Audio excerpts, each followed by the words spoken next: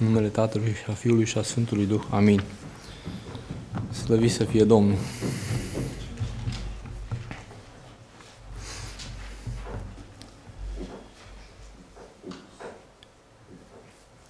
Evanghelia acestei duminici nu, nu se încheie arătând că femei, femeile mironosițe ar fi făcut ceva deosebit. Îngerul le spune, merge și spuneți ucenicilor lui și lui Petru că va merge în Galileea mai înainte de voi, acolo îl veți vedea după cum v-a spus. Și ele, ieșind, au fugit de la mormânt, că erau cuprinse de frică și de uimire și nimănui nimic n-au spus că se temeau.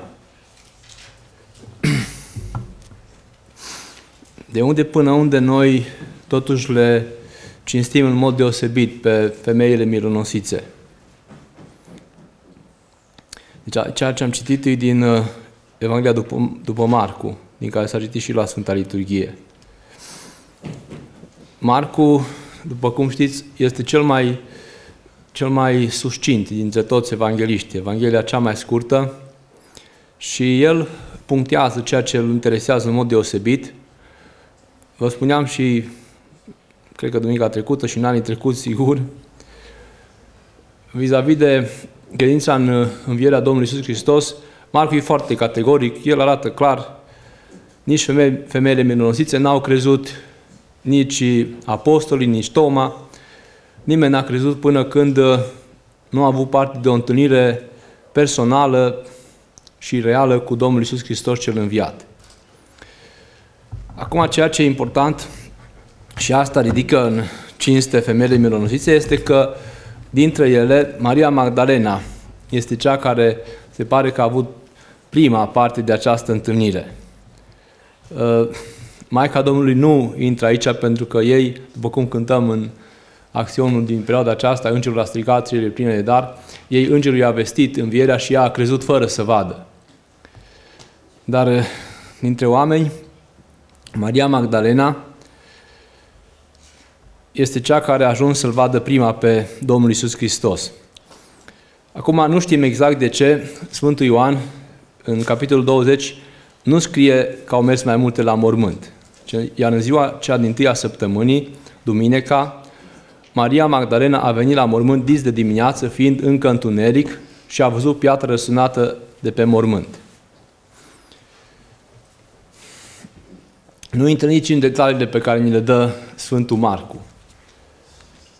Nu știm de ce, dar sigur nu îl interesa în mod deosebit asta. El vrea să scoată în evidență modul concret în care Domnul Iisus Hristos îi se arată Mariei Magdalena. Nu vrea să se oprească la celelalte femei, numite mironosițe. Deci ea a văzut piatră răsunată de pe mormânt și a alergat și a venit la Simon Petru, la celălalt ucenic pe care îl iubea Iisus și le-a zis, au luat pe Domnul din mormânt și nu știm unde l-au pus. Deci au ieșit Petru și celălalt ucenic și veneau la mormânt.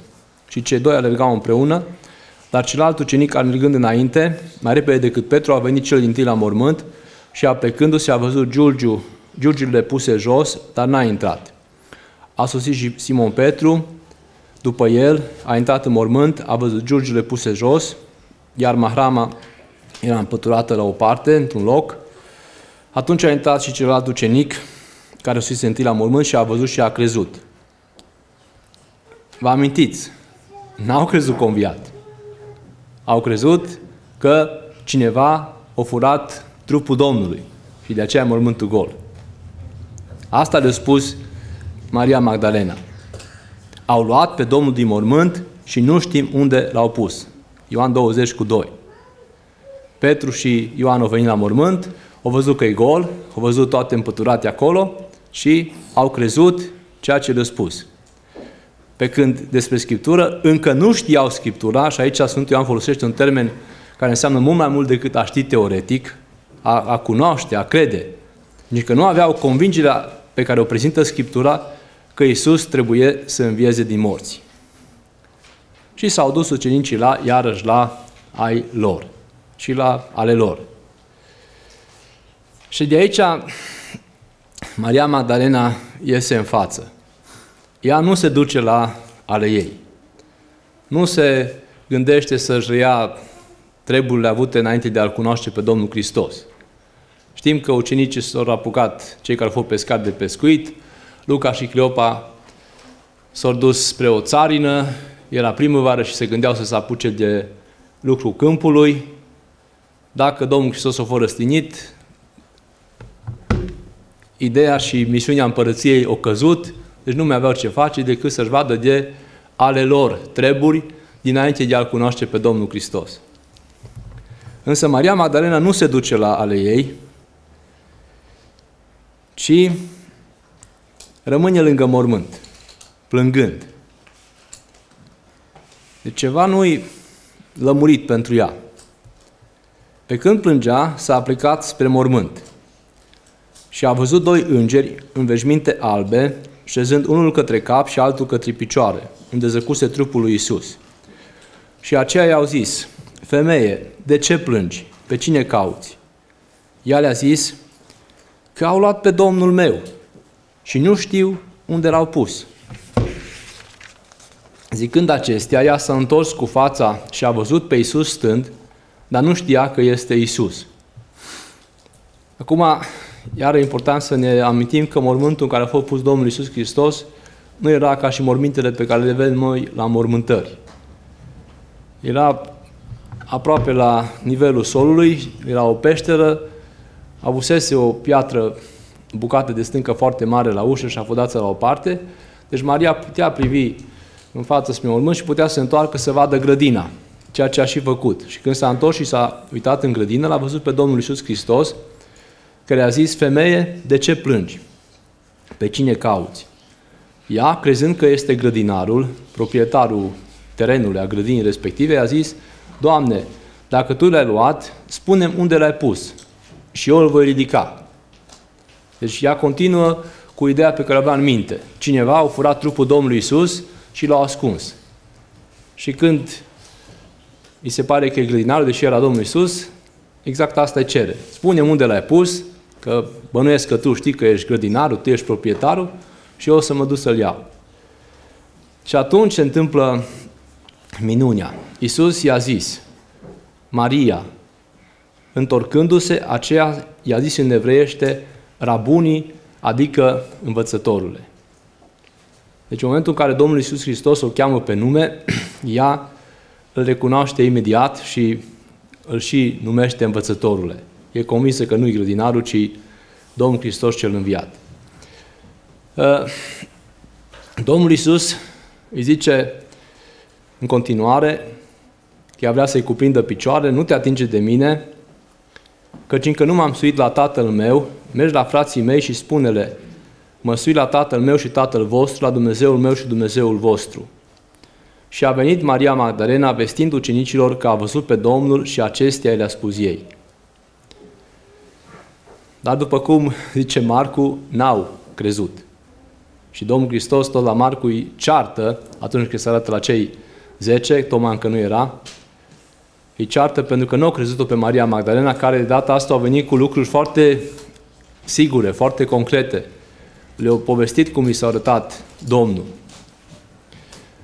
Acum, ce aș vrea să vă spun, mă gândesc că e foarte de folos și uh, din câte știm, e ceva ce ține de specificul oastei Domnului, din fericire nu a rămas numai în mișcarea oastei Domnului, ci uh, chiar vă amintiți acum câțiva ani, au ajuns la fratele Side o carte scrisă de Anthony Coniaris, un preot ortodox american. Titlul în limba engleză e Cum să dezvolți o relație personală cu Isus.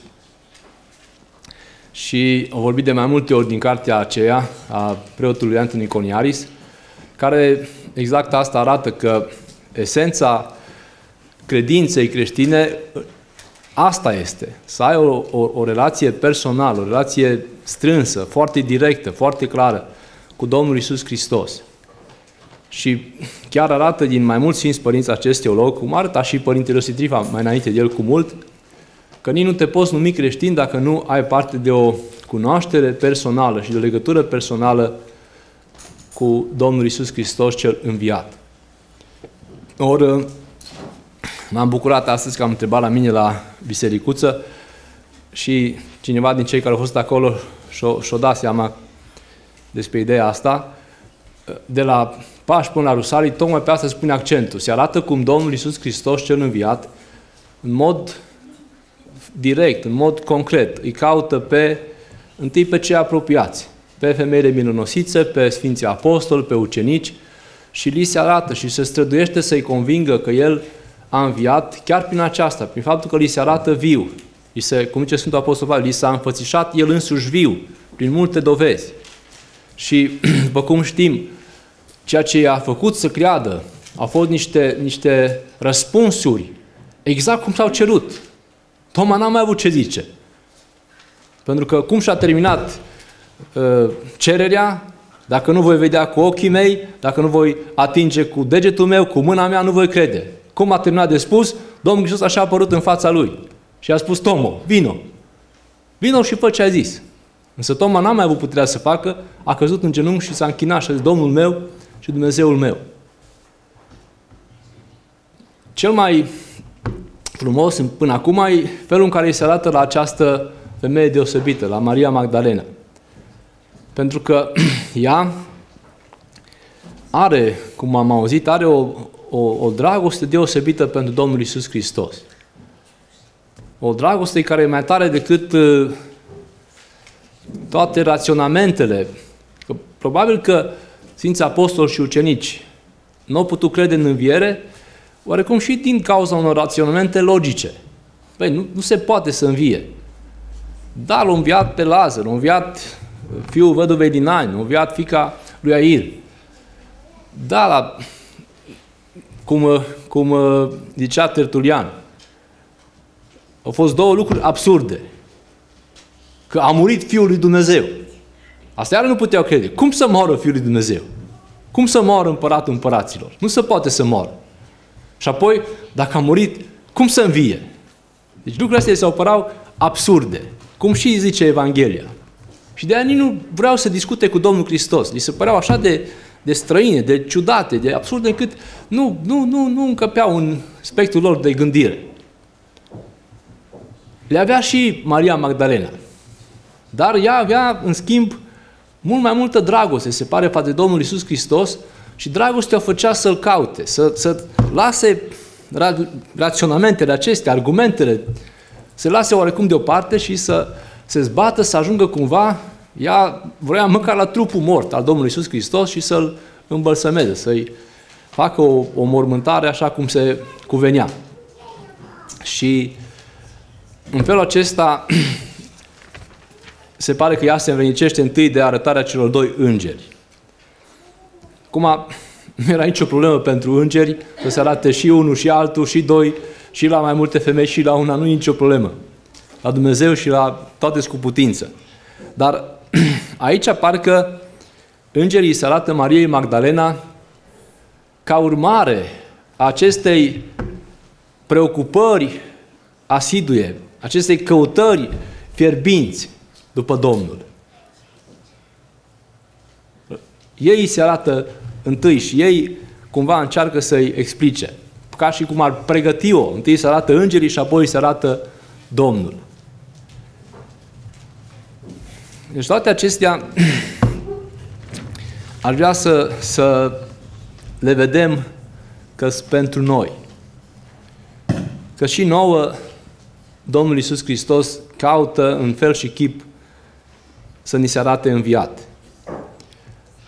Uh, aș vrea să mai mă opresc la un cuvânt care l-am citit când uh, Maria încearcă să-l atingă, să-l cuprindă, Domnul Iisus îi spune nu te atinge de mine că încă nu m-am suit la Tatăl meu, mergi la frații mei și spune-le, mă sui la Tatăl meu și Tatăl vostru, la Dumnezeul meu și Dumnezeul vostru.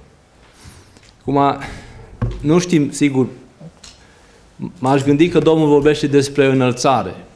Pentru că după teologia noastră ortodoxă și de fapt după, chiar după Scriptură, prin înălțarea la cer, s-a întâmplat ceva uimitor în privința mântuirii noastre. Deci Domnul Iisus Hristos la înălțare împlinește, sau după înălțare împlinește acel cuvânt cu care încheie Evanghelia după Matei. Iată, eu sunt cu voi în toate zilele până la sfârșitul viacurilor. Deci, până la înălțare, El s-a arătat punctual unora sau altora, femeilor milonosițe, lui Toma, celor 11, la peste 500 de fraze deodată, deci sunt Pavel în 1 Corinteni 15. Dar de-abia după înălțare și după pogorirea Duhului Sfânt, se întemeiază noua posibilitate de relație directă, nevăzută oarecum cu ochii trupești, dar foarte reală și foarte solidă spiritual cu Domnul Isus Hristos cel înviat, prin Duhul Sfânt. De aceea Domnul Hristos nu, nu o lasă să se atingă, pentru că ea îl privea prea, prea omenește, prea trupește. El este om, dar este și Dumnezeu, Domnul Isus Hristos. Iar prin înălțare a făcut această minune de a, de a ridica trupul omenesc la o altă stare, la o dumnezeire totală. Că altfel nu putea să fie un trup omenesc peste tot în lume. Dar de aceea e și, și sărbătoarea înălțării, sărbătoare împărătească, sărbătoare foarte mare. Pentru că atunci, iar noi, noi gândim sărbătoarea înălțării, vorbim puțin despre ea pentru că pică totdeauna joia. Dar o gândim în termeni spațiali. O nu așa trebuie văzută. De ceea ce e uluitor la înălțare nu e faptul că Domnul Hristos, oarecum în trup, se urcă pe onor și se ridică la cer. Nu. Ci transformarea totală a, a naturii umane pe care El și-a asumat-o, în Dumnezeirea ei de plină și așezarea ei de-a dreapta Tatălui, unirea de plină a umanității cu Dumnezeirea. A fost și înainte, dar, dar după înălțare, umanitatea parcă e încărcată de, de puterea dumnezească la maximum. Încă Domnul Iisus Hristos poate să fie ca Dumnezeu și om, cu fiecare om, oriunde, oricând, în lumea aceasta. Ceea ce nu era posibil înainte. El era trupește acolo unde era, cu ucenicii, cu apostolii, cu cine era. La, la aceasta se referă în primul rând uh, înălțarea. De aceea oarecum și prinde condacul înălțării acest uh, paradox, că Domnul Hristos își ia oarecum la revedere de la ucenici, dar uh, îi spune ca nici cum să nu, tre- nu se întristeze, pentru că El rămâne cu ei pururia. Va fi cu ei până la sfârșitul viacurilor. Asta e ceea ce ni se pune nouă înainte. Deci oarecum suntem mai privilegiați decât Maria Magdalena, decât apostolii, ucenicii, pentru că trăind în vremea revărsării Duhului Sfânt după cinzecime, în vremea bisericii, noi putem să-L vedem pe Domnul Isus Hristos care s-a înălțat la Tatăl și șade de dreapta Tatălui, tocmai ca să poată să fie cu noi, oriunde și în fiecare clipă a vieții noastre. Și aș vrea să, să rămân la lucrurile pe care le știm și prin care putem să vedem că El e cu noi. Cum, cum s-a spus aici de nenumărate ori de către mulți frați și preoți, e foarte adevărat ceea ce zicea Părintele Sitrifa, că dacă nu avem o relație personală, dacă nu vorbim cu Domnul și nu primim răspuns de la El, nu știm cât de mult îl putem cunoaște. Iar e adevărat că foarte puțini creștini ajung la această legătură strânsă, directă, personală cu Domnul Isus Hristos când chemăm și El ne răspunde și vedem din, primul rând din asta, din faptul că ne răspunde la rugăciuni și ne întărește prin puterea cuvântului Lui, vedem că e cu noi. Mai ales când uh, vin uh, greutățile, că vin strântorările. Cred că 99,99% dintre creștini ajung să îl caute pe Domnul și să se convingă că El într-adevăr e viu și cu noi la necaz, la încercări, la greutăți foarte mari, atunci când uh, e foarte clar că omenește nu se mai poate rezolva nimic. Și atunci Dumnezeu în smerenia Lui ne primește rugăciune și ne răspunde.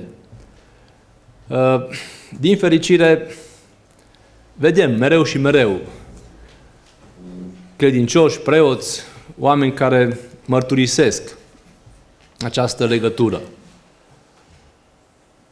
Spunea cineva nu de mult că s-a rugat pentru un lucru incredibil, efectiv incredibil. Când am înțeles despre ce e vorba, mi-am dat seama și eu că chiar nu se putea nici cum rezolva. Era ceva de foarte, foarte înalt nivel. Și a cerut ceea ce era necesar, era un lucru bun, ceea ce vrea acest om. Ce m-a rugat de o mie de ori. Am zis continuu, de nu, mai multe zile, că nu, nu avea atâta răbdare. De o mie de ori am cerut lucrul ăsta și s-a întâmplat minunia. În urmă cu vreo săptămână am văzut că, de fapt, vă ziceam cândva de uh, sutașul din Evanghelie, cât era de credincios, chiar dacă era militar. Am ajuns să cunosc un, uh, un domn care e colonel, dar face ceva școală specială și cred că o să ajungă și general, și care practică rugăciunea lui Isus. Am rămas șocat când am văzut că totdeauna când dă de greu, știe să zică de multe ori, Doamne și Hristos, Dumnezeu, miluiește-mă, ajută-mă în problema asta. Și e militar. E adevărat că e un om, un om de nădejde. De-aia, oarecum am și, mi-a și dat seama că, sigur, se roagă foarte mult, pentru că nu are formalismul tipic militarilor. Și un om foarte deschis, foarte înțelept, foarte priceput la multe. Și am fost rău și l-am făcut cumva să-mi spună și m-am bucurat când am văzut că poate și un militar cu grad de colonel și care face școală de general să, să fie foarte credincios și foarte rugător. Și foarte postitor. Și răbdător și așa mai departe. Deci, vi le spun ca să, să ne încredințăm. Că nu, vremurile astea nu sunt mai grele sau mai nu știu cum decât altele. Oare cum așa le percepem noi acum? Eu vă zic cum am zis de când a început pandemia să ne păzească Dumnezeu de război. Pentru că atunci o să ne dăm seama că tot ce a până acum e doar o palidă alarmă de exercițiu. Dar și dacă ar fi să vină război, tot nu se schimbă ceea ce e scris în Evanghelie. Sunt sute de cărți scrise de oameni care au trecut prin război și care în război, în bombardamente, în greutăți, în lagăre, au experimentat ceea ce scrie în Evanghelie. Au văzut că Domnul Iisus Hristos, cel înviat, cel atot atot bun, atot înțelept, a fost cu ei, i-a îndrumat, i-a păzit, i-a dus acasă și a dovedit că ce e scris în Biblie e adevărat 100%. Să ne ajute Domnul să urmăm și noi credința întâi a femeilor milonosiți, a Sfintei Maria Magdalena și apoi a celorlalți și să avem o viață în care Domnul Iisus Hristos cel răstinit și în viață să fie prezent și lucrător și să fim niște vrednici și hotărâți și râvnitori, mărturisitori ai Lui. Pentru că de asta e foarte mare nevoie să fim niște mărturisitori acestui Hristos care e biruitor, care a birit și moartea și păcatul și răul, a birit de plin și care ne-a și zis îndrăzniți că eu am biruit lumea. Amin. Dăvi să fie Domnul. Să cântăm de numărul 381, e Crăciun